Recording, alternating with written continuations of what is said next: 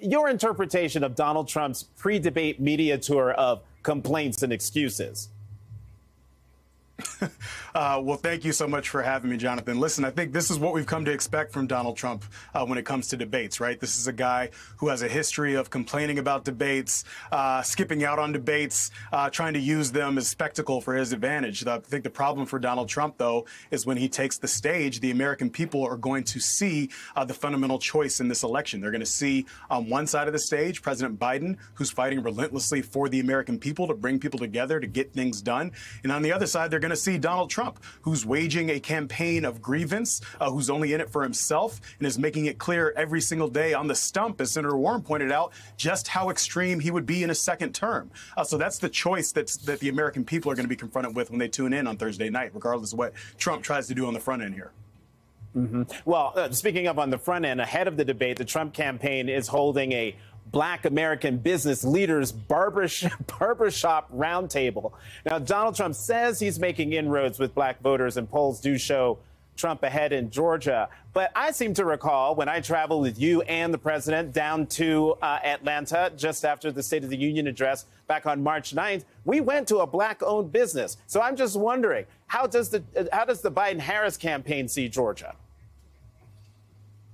Yeah, well, we see Georgia as uh, incredibly competitive. Uh, the president obviously won the state of Georgia in 2020, and we expect to do so again. It's going to be incredibly close and competitive, but we know that we have the right candidate and the right team in place uh, to get the votes and win the state of Georgia again. I think if you want to talk about black voters and black business, for example, I'm not quite sure why Donald Trump wants to uh, talk about black business because we know by the end of his term, black businesses were shuttered uh, because of the way that he fumbled the COVID response. He was telling us to inject bleach instead of doing his job. And the result result was uh, black people left disproportionately dead and black businesses disproportionately shuttered. I think the only things that actually went up by the end of Donald Trump's first term for black America were the unemployment rate and the uninsured rate. Uh, so we're happy to wage uh, this campaign on that front. If you p- put that up against the president's historic record of accomplishment uh, for, for black America, uh, record low black unemployment in the first term, uh, black wealth growing by 60% since before the pandemic, the fastest rate of black small business growth in a generation, historic investments into HBCUs, the tune of $16 billion. Uh, that is a choice uh, that's going to be easy for black America to make in this election. And we're confident that if we continue to communicate uh, that contrast of visions, uh, that contrast of values, uh, that we're going to win this election, uh, both in Georgia and across the country, of course. Michael, let's look at another key state. Uh, in a recent interview, Jen O'Malley Dillon, chair of the Biden-Harris reelection campaign, said, quote, what's happening in North Carolina, the extreme laws that are moving through the state legislature, a restrictive abortion law there, there that's worse than most other places in the country, a beyond extreme candidate running for governor in Mark Robinson. If you put all those pieces together, we really see that the state is in play. So, Michael, North Carolina will begin to mail absentee ballots starting on September 6th. So, this might be the only debate North Carolina voters see. What will it take to flip North Carolina? Yeah, North Carolina is absolutely in play. Uh, I think if you want to look at any indicator of that, look exactly where the president is going after he leaves Atlanta. Uh, we're going directly to Raleigh, North Carolina, uh, to organize and rally uh, our growing grassroots army in the Tar Heel State. We know uh, that given everything that you just described, the demographic makeup, the extremism that's been on display uh, in in in the state legislature, there, obviously the extreme MAGA candidate that they have in the state of North Carolina, in many ways, it's a microcosm of what we're looking at across the country here, and so we we know uh, that if we uh, relentlessly engage in the state of North Carolina, uh, that we're going to be able to come out on top. That's true in Georgia. It's true in North Carolina. Uh, it's, of course, true in the blue wall states as well. We know uh, that we have the resources, the candidate, the message, the vision, and the values uh, to win across the country here. And that's the type of campaign that we are building. We've got 300 field offices open across the country. We have over a thousand staff now on the ground across all the battleground states. And so that's true in North Carolina. It's true in Georgia. And I think it stands in stark contrast to the lack of an operation that the Trump team has at this stage of race. We know in an incredibly polarized and divided electorate uh, where you have two candidates that are both widely well known, the operations that you have in place matter that much more. And there's only one campaign at this stage of the race uh, that is actually doing the work to reach the voters that are deciding the election. Every dollar that people chip in when they go to joebiden.com is, is fueling that grassroots army that we are building in the battlegrounds across the country. So uh, we're foot on the gas coming off of the debate in Atlanta. We'll be on to North Carolina and across the battleground states from here. Well, you mentioned earlier blue wall states, so let's talk about one of them. I want you to listen to what a Pennsylvania voter told NBC News today. I'm looking to uh, see that uh, uh, Joe Biden does the, uh, you know, accentuates what he's already done, and and to uh, really say this is this is my plan to improve that so, what will Joe Biden, President Biden, say about his plan to build upon his record in the next four years?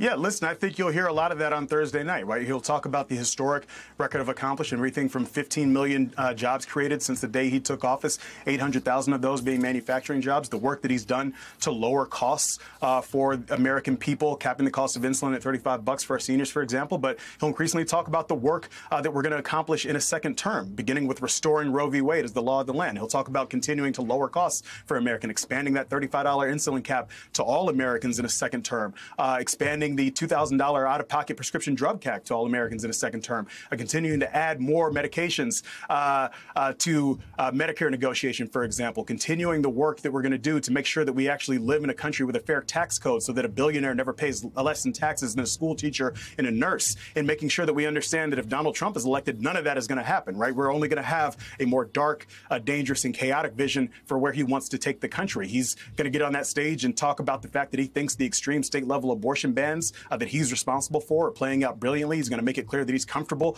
uh, with more abortion bans playing out across the country if he's able to regain power. He's going to talk about more uh, corporate handouts and tax giveaways to the ultra wealthy on the backs of the middle class if he's able to regain power. And he's going to wage his campaign of, of revenge and retribution from the debate stage, continuing to attack democracy, par- promising to pardon the insurrectionists of January 6th. That's the fundamental contrast that the American people are going to see on that debate stage, and they're going to see through the duration of this campaign moving forward.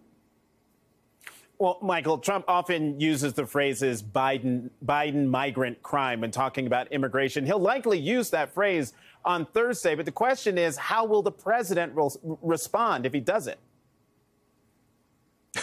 yeah, listen, I mean, Donald Trump, there's no tragedy that Donald Trump won't try to exploit for his own personal gain. Uh, obviously, every last one of these is a tragedy. Uh, we understand that, the president understands that, but we're not going to let Donald Trump uh, misconstrue the facts. The fact of the matter is that crime went up under Donald Trump's presidency. Crime is down under Joe Biden's presidency. Uh, Donald Trump doesn't care about crime. He doesn't care about border security. I think that's evident by the fact that he's the one who blew up the border security deal when we had a bipartisan deal in the Senate.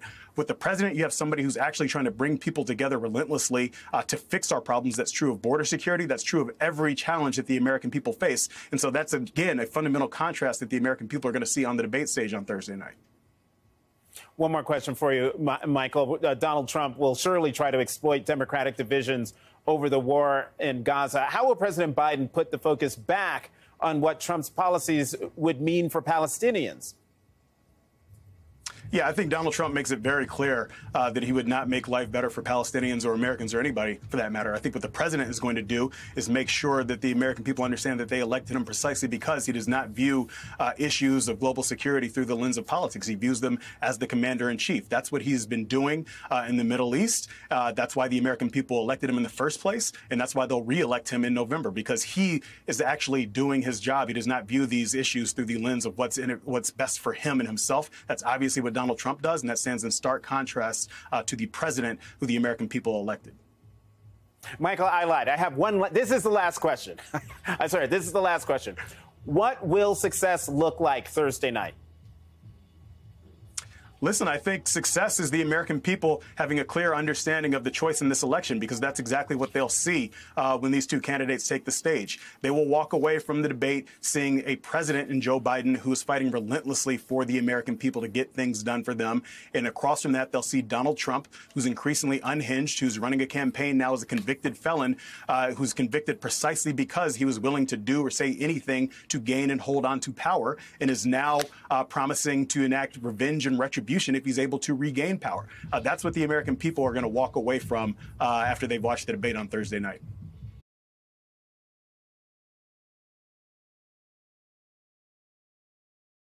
Hey there, MSNBC fans. I'm Luke Russert, and be sure to join me, Rachel Maddow, Jen Psaki, Lawrence O'Donnell, Steve Kornacki, Joy Reid, and many more September 7th in Brooklyn.